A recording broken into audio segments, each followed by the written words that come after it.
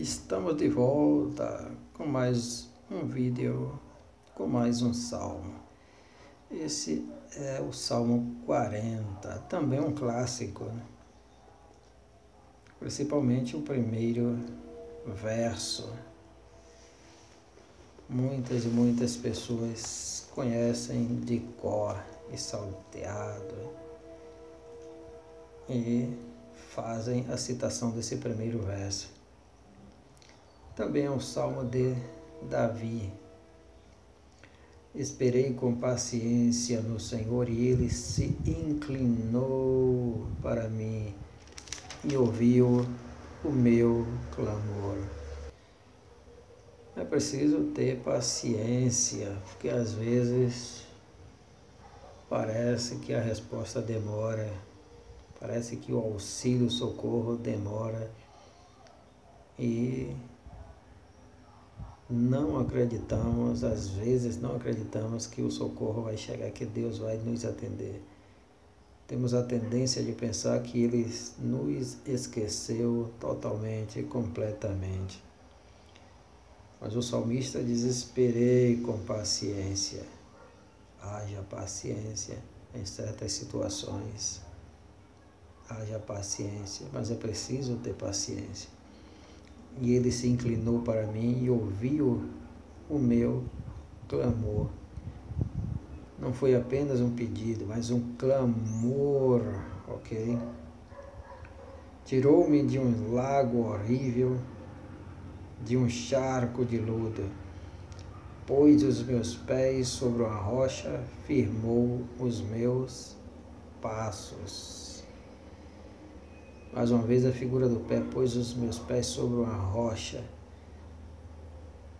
firmou os meus passos e pôs um novo cântico na minha boca, um hino ao nosso Deus. Um novo cântico e pôs um novo cântico na minha boca. Um hino ao nosso Deus Muitos o verão e temerão e confiarão no Senhor. Bem-aventurado o homem que põe no Senhor a sua confiança e que não respeita os soberbos, nem os que se desviam para a mentira. Muitas são, Senhor, meu Deus, as maravilhas que tens operado para conosco. Muitas e muitas foram as maravilhas operadas entre o povo de Israel a passagem do Mar Vermelho, uma delas, a passagem do Jordão, a queda de Jericó, todas as conquistas, muitas e muitas obras maravilhosas. E também Deus tem feito em nosso meio. Deus tem feito muitas maravilhas através dos séculos, em benefício ao mundo inteiro e em benefício ao seu povo em especial. E os teus pensamentos não podem, não se podem contar diante de ti. Eu quisera anunciá-los e manifestá-los, mas são mais do que se podem contar. Sacrifício e oferta não quisestes, os meus ouvidos abriste holocaustos e expiação pelo pecado não reclamaste.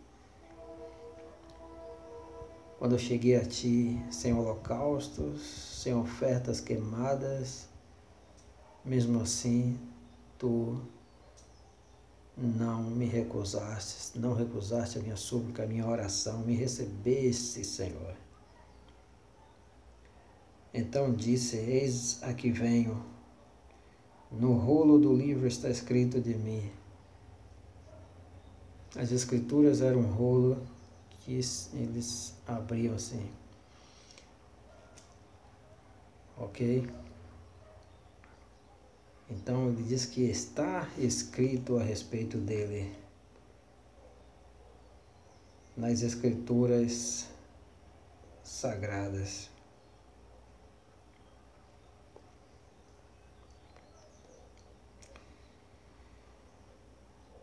Deleito-me em fazer a tua vontade, ó Deus meu, sim, a tua lei está dentro do meu coração.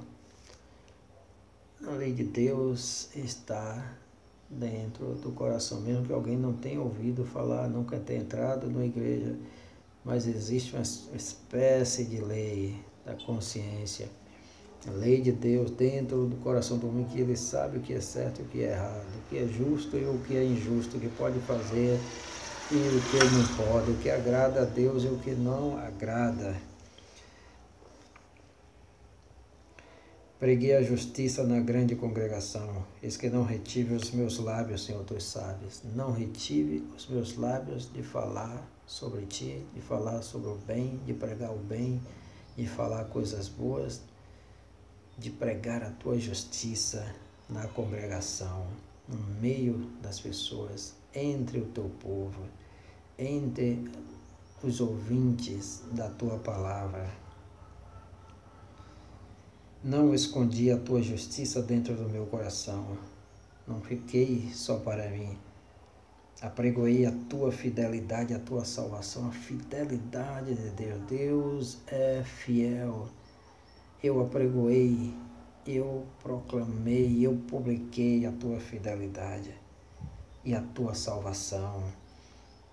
Não escondi da grande congregação a tua benignidade, a tua verdade. Proclamadores da verdade, da justiça, pregadores da verdade, da justiça, da paz. São estes que Deus está procurando. Não detenhas para comigo, Senhor, as tuas misericórdias. Guarda em mim continuamente a tua benignidade, a tua benignidade e a tua verdade, porque males sem número me têm rodeado. As minhas iniquidades me prenderam, de modo que não posso olhar para cima. São mais numerosas do que os cabelos da minha cabeça, pelo que desfalece o meu coração. Isso é uma expressão idiomática para dizer que algo é em grande quantidade, certo? Muito, muitíssimo. São mais numerosos que os cabelos da minha cabeça. Digna-te, digna-te, Senhor, livra-me, Senhor, apressa-te em meu auxílio. Sempre ele usa, vez ou outra, essa expressão, apressa-te, Senhor sejam a tua a uma confundidos e envergonhados os que buscam a minha vida para destruí-la, tornem atrás e confundam-se os que me querem mal. Confundidos sejam em troca da sua afronta os que dizem para mim, ha, ha, ha. Foguem e alegrem-se em ti os que te buscam. Digam constantemente os que amam a tua salvação, engrandecido seja o Senhor. Eu sou pobre e necessitada. Ele não era pobre materialmente falando, financeiramente falando. Era um homem rico e poderoso. Portanto, essa palavra tem a ver muito com humildade ou então em comparação ao que Deus é, ou seja, eu sou rico, posso ser rei, posso ter tudo à minha disposição, mas diante de ti não sou nada, sou um pobre, sou um miserável e necessitado. Mas o Senhor cuida de mim, tu és o meu auxílio e o meu libertador, não te detenhas mais uma vez. Oh meu Deus, palavras do Rei Davi. chào chào Bye bye.